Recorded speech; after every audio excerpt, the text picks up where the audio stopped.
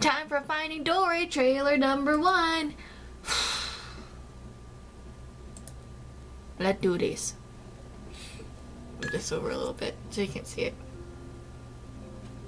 Walt Disney presents a Pixar Animation Studios. Another fish story. Looks like she's living in a brain.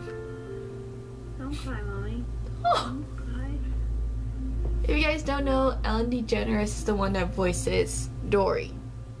So this is after Finding Nemo. Dory? Dory? She's sleep fishing. Dad, Sleep Dory's swimming. Sleep swimming. She's talking in her sleep. Hmm. I wonder if she has that scar. Things in her sleep, okay? Tell me. Trying to get a good look. I can't see it. What if she starts sleep swimming again? I'm sure this was a one-time thing. And she's gone. Go to God damn. Dory. Dory, come I back. remembered something. That's not possible. Is it?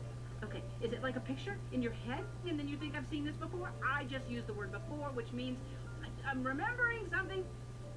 What was I talking about? My family! They're out there somewhere. I have to find them.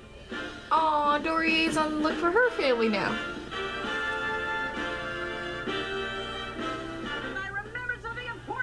Something important? What? Something about a clam or No. no an oyster. No. Mollusk? No. Something? No. I don't know. No clue. This June, so next June. Just keep swimming, just keep swimming, just keep swimming, swimming. Oh, okay, that was kind of cute. I have to admit, that, that was cute.